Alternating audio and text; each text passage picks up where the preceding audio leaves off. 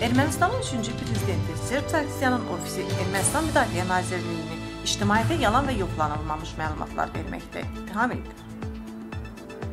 Reaksiya TV Axaraza istinadən bildirir ki, Sarkisyanın müraciətində Artsrun Ovansyanın açıqlamalarının reallıqla heç bir bağlılığı olmadığı bildirilir. O 2018-2019-cu illərdə Ermənistanın silahlanmasının əvvəlki illərlə müqayisədə həddindən artıq çox olması barədə rəsmi məlumata qarşı çıxıb.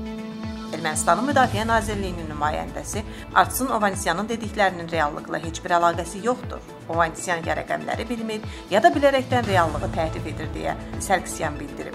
Azərbaycan ordusunun Şuşada olduğu zamanda reallığı təhrif etməklə doğru olmayan rəqəmlər vermək olmaz deyə bəyanatda bildirilib.